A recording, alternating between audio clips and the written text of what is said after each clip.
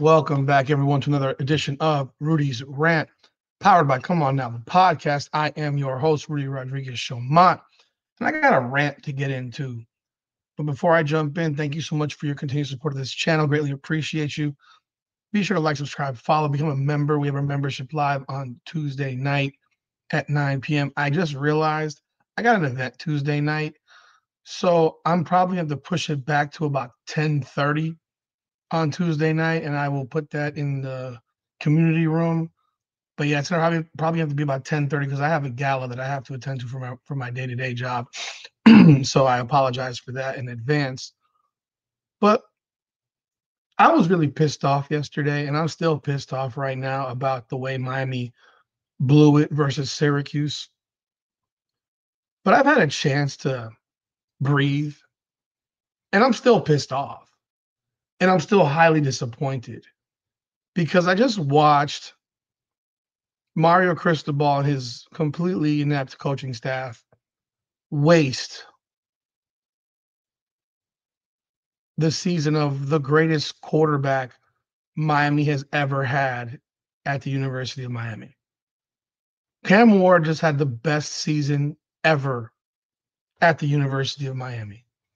Miami's never had a quarterback play like Cam Ward has played this year. And it's utterly disappointing to see an opportunity go by the wayside potentially because of coaching, because of lack of preparation, because of decision making. Now, I stand by what I said. I said yesterday I had actually no issue with Mario Cristobal deciding to kick a field goal with four minutes to go. Had no issue with it. And I still have no issue with it. And I'm going to tell you why I have no issue with it. I have no issue with it because Miami on fourth down plays of late has not exactly been successful. In two games, well, in on two separate situations against Georgia Tech, Mario Cristobal decided to go for it rather than take a field goal. And he got crucified for it. He did it before the f- first half ended on a fourth and short, and the play they ran was pathetic. And you normally see them struggle in fourth down when they are closer to the goal line because it doesn't give Cam Ward the space to have receivers running deep routes. So the underneath stuff might be covered better because of the fact that you can't the field has been has been shrunk because you're at the 10 15 yard line. So I watched them have two of those plays stopped by Georgia Tech. The second one in which it was fourth and 16 and rather than kick a field goal, he went for it. And that basically cost Miami the game.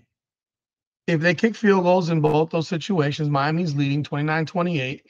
And if they go for an extra point rather than going for two, they're up 30 to 28 with the ball and a chance to run the clock out. Situations that happen in the second quarter and the third quarter have an impact on the fourth quarter. in this situation, Miami would have had a chance to win the game if it could make one defensive stop. And before you tell me, well, they hadn't stopped anybody the whole game, you're right, they hadn't. And I can show you multiple games in which Miami hadn't stopped anybody the whole game. And then when they needed to make that stop, they made that stop. They made that stop versus Virginia Tech. They made that stop versus Cal. They made that stop actually at Georgia Tech as well. They couldn't stop Georgia Tech the whole game. They, they couldn't stop them. Georgia Tech ran the ball down their throats. But when Miami needed to make a stop to get the ball back, to give Cam Ward a chance to win the game, they did that. They did it. Why would this possibility not be in existence when you know Syracuse is going to run the ball? You know Syracuse will run the ball. Even though they're a passing team, they're going to run the ball because they're going to want to make Miami burn their timeouts and eat up as much clock as possible. Either you're going to burn the timeouts and they're in their mind saying, we get one first down. This game's a wrap. They got three first downs running the ball every single time. Add in the offsides penalty, which gave them a first down by Moton, and there's your ball game. So I understand the the irritation of not going for it and not giving Cam Ward the ball. I get it. I, I genuinely get it.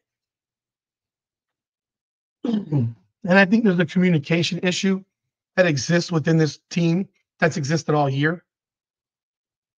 But it's not such a far fetched thing to expect that your defense, your run defense, can hold up. And unfortunately, they did not. Syracuse in this game ran the ball.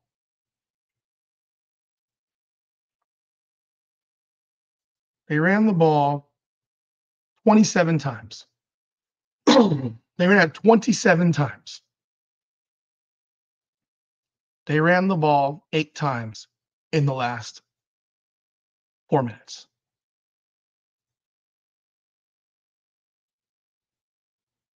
That's what happened. They ran the ball eight times the last four minutes. Eight of their carries, well, six of them, because the last two were kneel downs. So six of their, six of their, so 20, 27, 21 of their carries came before the before this final drive. They had 25% of their carries on the final drive. This is a fact. And up until until that point, Miami had largely stopped the run. At that point, at that point, I'm going to tabulate it all here. 11 yards, four yards, seven yards. That's 15, 22, 28 offsides, 28, 39 yards, six carries for 39 yards by a team that up until that point had 21 carries for like 60 for like 60 60 yards. Miami had held these guys to three yards a carry.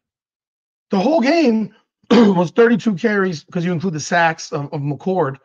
But if I remove the McCord plays, which was five for negative 14, they're 27 for 88. That is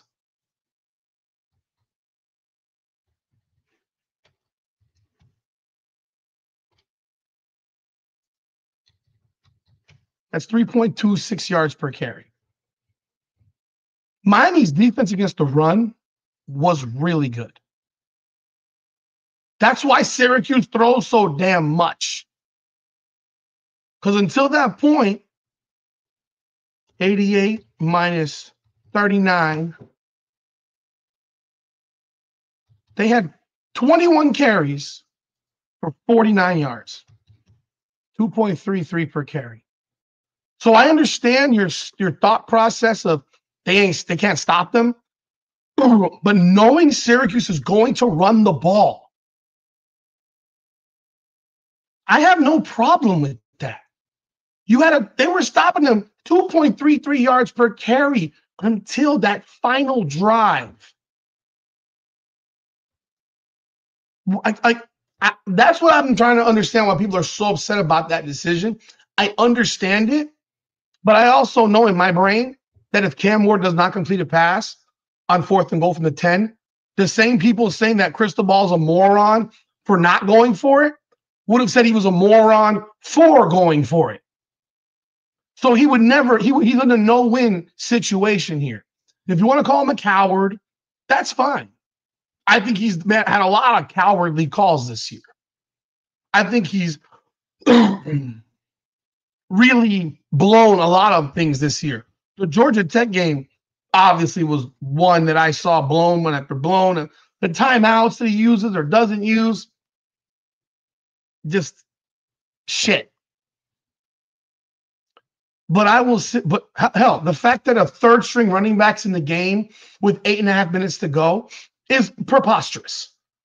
Damien Martinez is running down their throats, and you have Jordan Lyle in the game. In fact, running on a third down play that we needed a first down on. He got the first down. Excuse me, this cough is still killing me. But I'm trying to, but but so like those are things that bother me. The DBs, you have backup defensive backs. These guys you have in the game suck. Put someone else in. There's nothing wrong with taking the guy out because he's stinking it up. There's nothing wrong with playing a zone rather than playing man the whole fucking game. But they play man and play man and play man. Daryl Porter stinks. OJ Frederique, I don't know how people think this guy is an all American freshman. He stinks.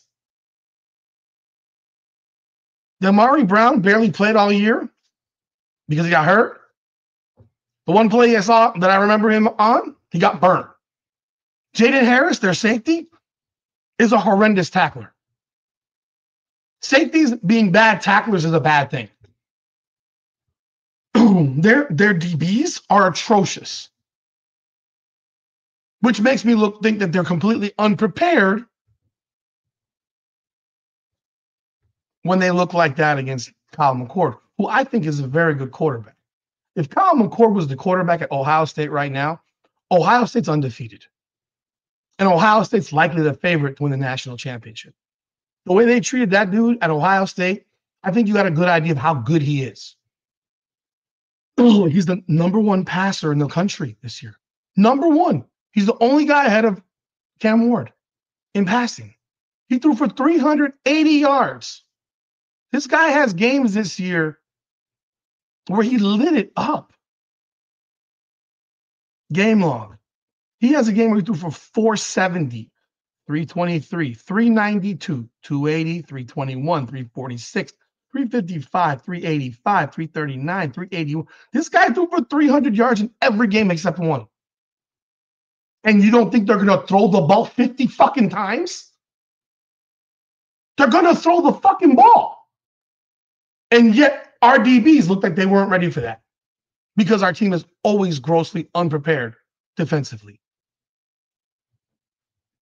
Now, there are plays that happen in this game that killed Miami. This Restrepo fumble killed Miami. It killed Miami. Pass interferences on their DBs killed them. It was horrible. It, it, it, it just was bad. Watching Daryl Porter get ragdolled for a touchdown, where all he has to do is be in the way. Stay standing. You knock the ball away. They kick a field goal. Frederique, same thing. They kick a field goal. But no, instead you grabbed his jersey and pulled him down when you're standing right next to him. It's just bad. It's just bad across the board. but with all that said, Miami loses 42 to 38 to a 9 and 3 Syracuse team. The ACC has multiple good teams. This attitude that the ACC is some trash can conference is ridiculous. You got Duke, who's nine and three. Duke went nine and three. Miami beat Duke by 22 points. Louisville went eight and four. Miami scored 52 points at Louisville. Louisville's losses, all four of them are by one score. By one, by seven points or less. Louisville's a good team. Did they have a bad loss for Stanford? Absolutely but they're a good team. How are they not ranked ahead of a team from the freaking American Conference that doesn't have a win over anybody? How is Syracuse not ranked? Well, they're ranked now, but how are they not ranked? They beat UNLV. Is ranked. Like they beat UNLV at UNLV, and UNLV is ranked. But UNLV's two losses are Syracuse and Boise State and UNLV has played nobody else on their schedule. Georgia Tech finished seven and five. Yes, they had an injury. Haynes King being out cost them dearly versus Virginia Tech, Notre Dame, where they had no offense, where their offense was just brutal. They lost to Louisville 31 19. Again, Miami beat Louisville Let's, re- let's remind you Miami beat Louisville. and they lost to Syracuse by three. And they lost to Georgia by two in a game they were up 17 nothing and 27 13 with seven minutes to go. And it took some absolutely brutal calls by the officials to get Georgia to win that game. There was a clear fumble inside the five yard line that they had for review and they still didn't overturn it, which gave Georgia a touchdown. There was a pass interference on fourth down they called on Georgia Tech. That wasn't pass interference. That gave Georgia a touchdown. and finally, there was the fumble with uh, three minutes to go on Haynes King, where it was a clear targeting penalty. They didn't even look at it. The man's helmet was straight down. Crown hit dude square in the chin, right on his face mask, and he fumbles. That's a targeting penalty. Three brutal calls that cost Georgia Tech three touchdowns. Georgia Tech's a good team. Seven and five or not, they're a good team. And they missed their quarterback in two games. They're starting QB for two games. They missed him. So you have to look at situations and how they play out. Miami beat Florida by 24 in Gainesville. And all I get to hear about is how all I get to hear about is how, you know, look at this Florida's beating all these teams in the SEC now. Miami beat them by 24 in their home building with their actual first string quarterback, Graham Mertz. Blew them out. Blew them out. And Florida came back and ended up beating LSU, Ole Miss, I believe it was Ole Miss, and um, who was the third one? LSU, Ole Miss. Yeah, those are the those are the two. They beat LSU, Ole Miss back to back, and then they beat Florida State. Florida State was awful this year. The Georgia game, they were tied 2020 with seven minutes left with their third string quarterback. So I want you to understand the Georgia dy- dynamic here of how good Georgia is. Georgia's not that good. Georgia beats Kentucky 13 12. Florida beat them 48 20. Like, Miami beat Florida worse than anybody on that schedule except for Texas. But the game against Texas was in Texas. We played in Gainesville. Yeah, we. I'm a Hurricane fan. Miami went to Gainesville for a game that Florida was preparing for all summer. And we and we as in Miami, Miami didn't know what it had. Miami didn't know how good Cam Ward was. Miami had no idea how good Cam Ward could be. You didn't realize you had a Lamborghini. You thought you had a, a good Infiniti or a Lexus. But you found out you had a Lambo in your park in your in your in your garage with him. He's that good. but this conversation about the playoff, it sucks because Miami's absolutely better than Clemson. Everyone knows it. And SMU is going to dog walk Clemson. Would Miami have beaten SMU? I have no idea. I would have thought it would have been a, game in the 40s or 50s because these teams have just ridiculously good offenses. And if you didn't know, SMU's entire offense is based on Miami. Miami players are all over that SMU team. Miami's former offensive coordinator is the head coach at SMU. And don't be surprised that if and when Mario Cristobal gets fired, that the first phone call isn't to Rhett Lashlee to bring him back to Miami. Because Rhett Lashlee's a hell of a football coach. But when you look at the SEC and you see these teams that are being discussed as a playoff team with three losses. It's utterly ridiculous. It's ridiculous. Georgia gets the, the gift of being blown out by Ole Miss. Blown out, folks. Like Miami didn't get blown out by anybody.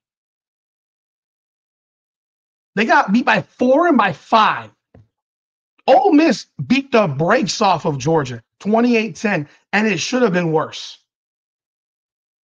They lost to Bama by seven, a game they were down by 30 in. They get they squeak by Kentucky 13 12. They squeak by Florida. Again, that's tied with seven minutes left. They they get the gift of the officials against Georgia Tech. Like they've gotten gift after gift after gift. Their one real win was Clemson to start the season. And that game was 6-3 at halftime, I think. Something like that. 6 nothing at halftime. The game was, yeah, 6 nothing at the half. They ended up blowing them out, but it was 6 nothing at halftime. So they get the gift of all these games, and they do have a win at Texas. And Texas hadn't beat anybody this year. Texas has a win over Texas A&M as their best win. They had a three-point game versus Vanderbilt. They beat a bad Oklahoma team, and they beat Texas A&M the other day by 10, yesterday by 10, or, or Friday, whatever day that was. Well, by 10. 17-7. Like, there's no elite victories in that in that schedule. They beat Michigan when Michigan was ranked 10th. But we know what Michigan got. They got nothing except for one over Ohio State. So this is the thing. You you look at these these SEC squads, and they get the benefit of that all the time, all the time. Is it Miami's fault that these pollsters don't respect the ACC? Because that's where this all starts from. It starts from an opening poll that literally puts every fucking SEC team in the top 25. And a, the ACC has nothing. The Big 12 has nothing. It's an SEC Big 10 poll with a couple of teams sprinkled in here and there. Based on what? Because they haven't played on the field. Alabama loses to Oklahoma by 21 points, 24 to 3. A 6 and 6, or at the time, a 5 and 5 OU team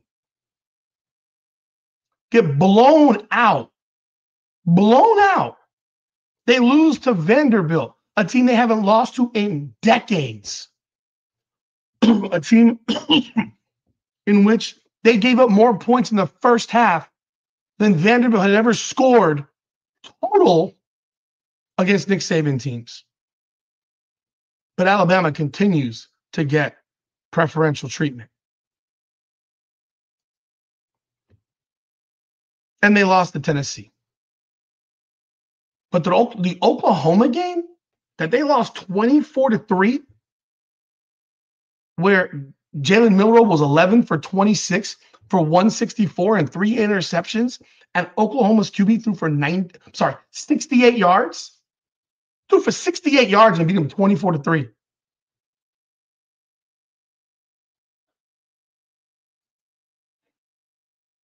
Alabama had 234 yards in that game. Miami hasn't had a game this year with less than 400 yards. Not one. But Alabama gets to get away with having a trash can offense. Remember how FSU didn't make the the, the four team playoff last year? Look, if this was a four team playoff, you'd have enough headaches in, in, in, in itself, and no Miami would have no shot, none at all. But remember how FSU was let was escorted out of the playoff last year? It was because their quarterback got hurt. But FSU's defense was elite, one of the best in the country. And they were winning games with their defense. And people will say, oh, when they played Georgia, they got crushed. Yeah, they were missing like 17 players. They were missing everybody. That everyone, everyone decided not to play. But FSU should have been in that final four.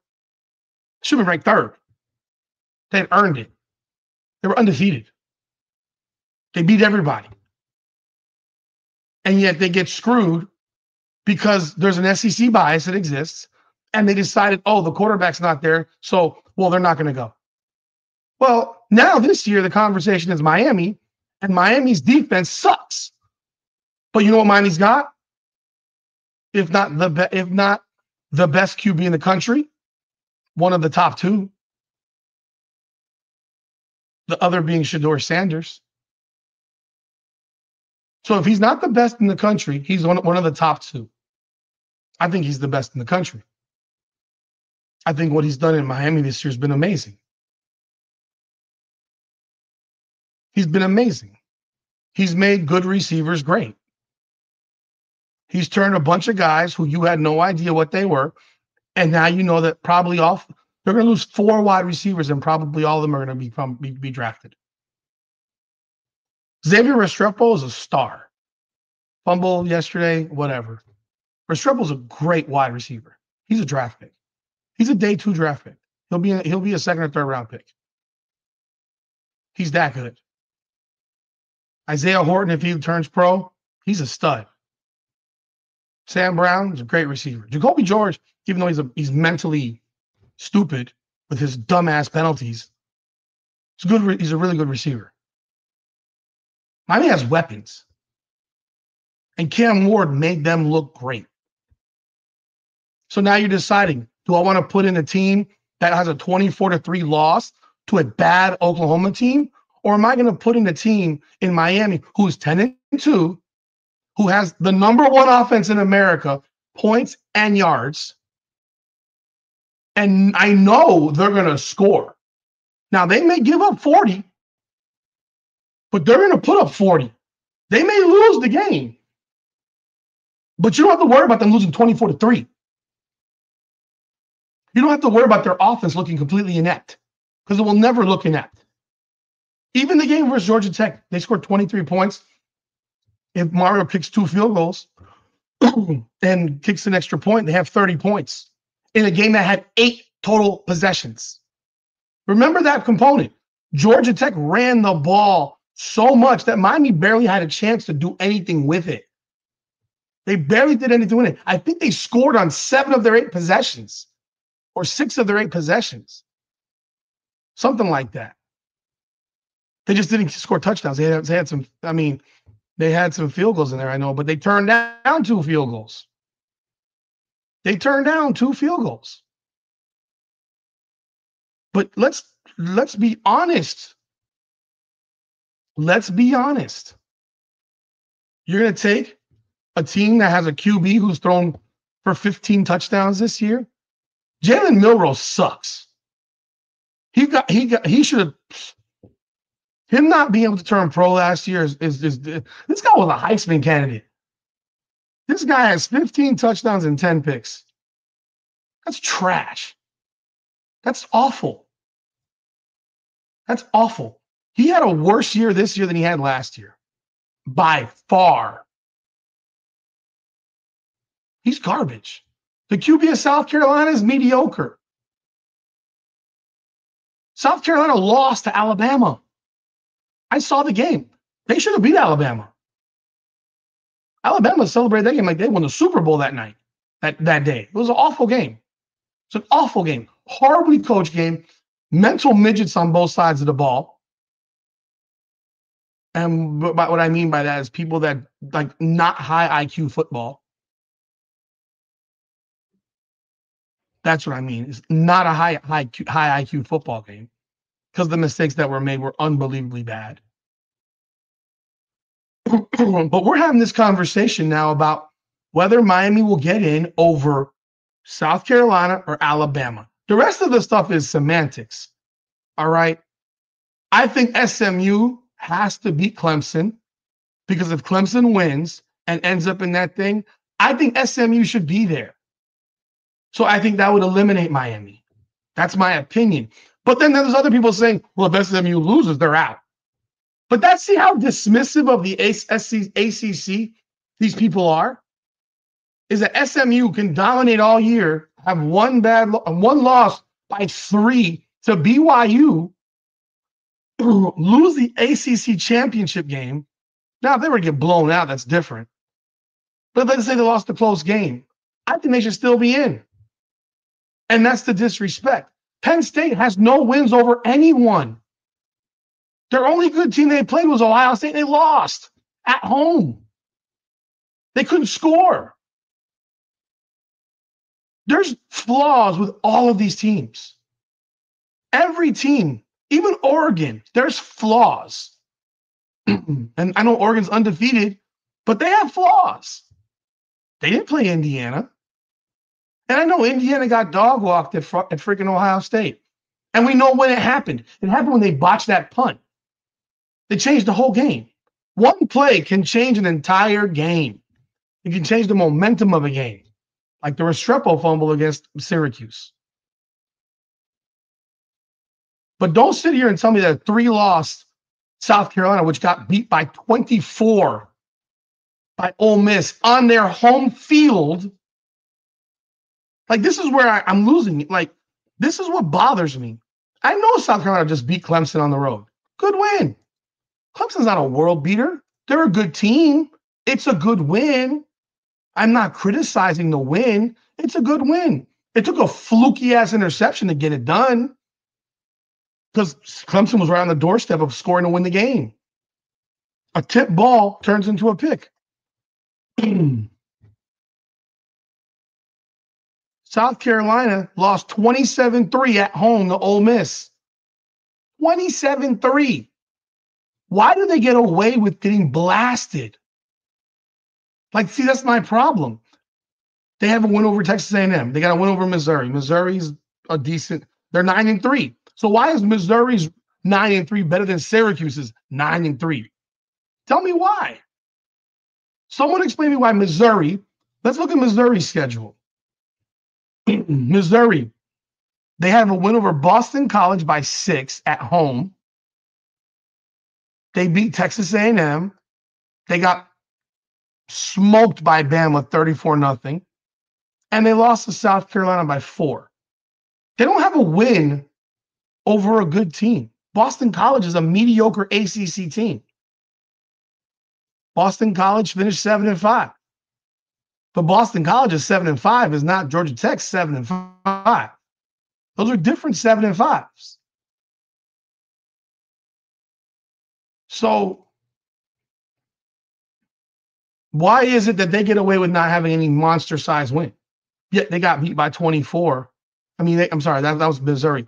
But they're like South Carolina's win is over Missouri, and that's like their big win.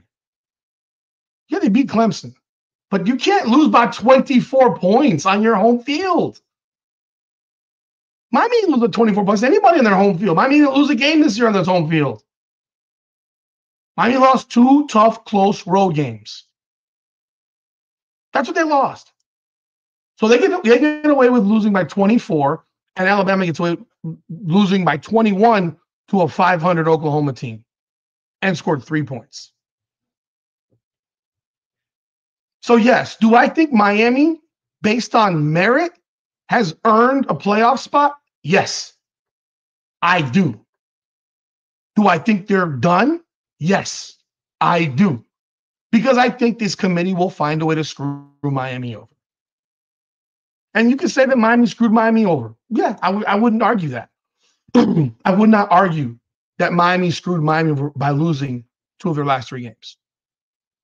But why does Ohio State only drop six, five spots in the polls? Why does Ohio State lose at home to a 21 point underdog and only drop five spots in the polls? This bias is insane. Ohio State's biggest win is Penn State, and Penn State doesn't have a win over anybody. Yeah, they beat Indiana. That was a good win. That's their big. I'm sorry, that's their biggest win. To me, that's their biggest win. That's a bigger win than the win over Penn State because I don't think Penn State's that good. But I look at this from a perspective of we're sitting here. You want to have your most exciting games? There's not a chance, not a way in the world that the Miami Hurricanes do not belong in the college football playoff. You want exciting football? The Hurricanes will give you exciting football. It might be 48 to 45, but they're going to give you exciting football, win or lose. And a matchup between them and potentially Notre Dame as a six seed. The storyline Miami goes to South Bend to play Notre Dame? That would be epic. One can only hope that the committee on Tuesday will drop a more reasonable ranking than this garbage that the AP dropped today. To show, to, I mean, the AP has Miami at 14. The coaches have Miami at 14. I, I Ohio State drops five on one and six in the other, losing to a 21 point underdog. I mean, that doesn't make sense. Miami loses by freaking four to a nine and three squad on the road and and drops seven slots and six spots. We'll see what happens in the CFP rankings on Tuesday. But man, the privilege of SEC schools is crazy. The privilege that SEC, SEC schools get is crazy. And do I think Miami would beat Boise State? Absolutely. Yes. I think Miami would beat Boise State. Yes. But Boise State has earned their right. They've won their games. They're probably going to be the conference champ. What Miami needs to happen is that SMU wins. SMU has to win. If SMU wins, I'm going to worry about, you don't have to worry about Clemson. Another win that Miami really w- would benefit Miami is Texas dog walking Georgia. That's what has to happen. Texas, if Texas dog walks Georgia, and now Georgia is a three loss team too, with their with their last two games being a two point win over Georgia Tech and a beat down by Texas, that also has an adjustment there because how do you keep a, a seventh ranked or a sixth ranked Georgia in the top 12?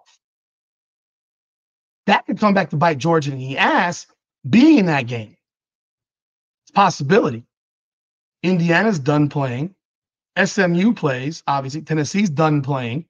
Notre Dame is done playing. Penn State now plays Oregon. What if Oregon beats Penn State by 30? What do you say then? These championship games have meaning. Now, if Penn State wins, they're in. Oregon's still going to be in. If Oregon wins, Penn State still might be in. Ohio State has been gifted life. Don't know how they should. I, I, I don't know why Ohio State gets a gift for winning a losing a 13-10 game to a 21 point dog on their home field.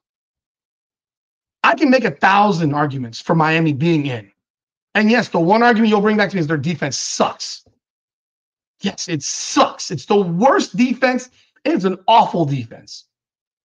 Awful defense. But that awful defense held Florida to 17 points in Gainesville. In Gainesville. And at the end of the day, no one's ever stopped their offense, not even Georgia Tech.